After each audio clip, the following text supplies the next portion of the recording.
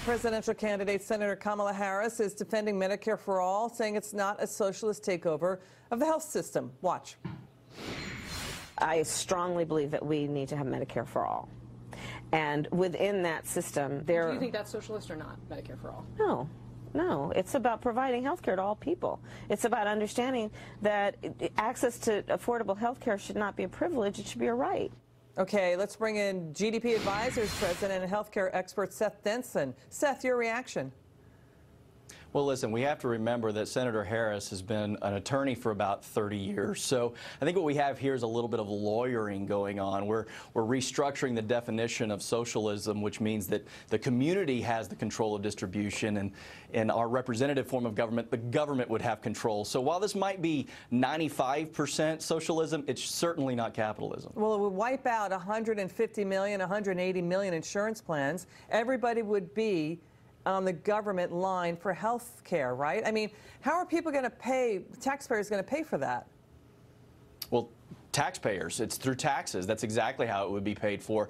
Everything goes up. The costs go up, and that hits the middle class directly through employment tax, through payroll tax, and then just through the overall structure in which we access the system. You know, it's striking that Kamala Harris's home state of California said no to single payer, no to Medicare for all because it would bankrupt the state. So did Vermont, so did Colorado, so did the state of Washington. And you know what's interesting too, Seth, that Democrats like Senator Amy Klobuchar, she's expressing skepticism about Medicare for all. So is Sherrod Brown. So is this a winning issue or not?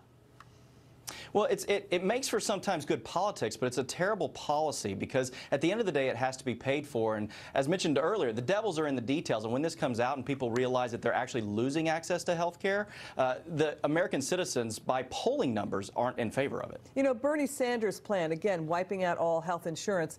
Uh, do Democrats understand that Medicare has private insurance in it, in the Medicare Advantage and the Medicare Part D? I mean, it's based on private market insurance.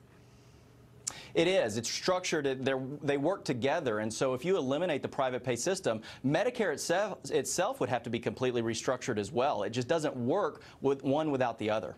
You know, we are seeing states expanding Medicaid. Listen, we want to take care of the poor. This country is very generous. Taxpayers want the poor taken care of. Is there a system that you can see that would do that?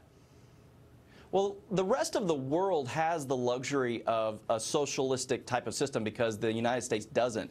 We're responsible for most of the innovation, and so our free market system is still the best system out there. We do need to infuse transparency into the system so that the free market system can work appropriately. And if we can do that, if we can restructure some of the ways in which our system works, it's the best in the world. That's a great point about pricing, including for doctors and hospitals. Final point, right?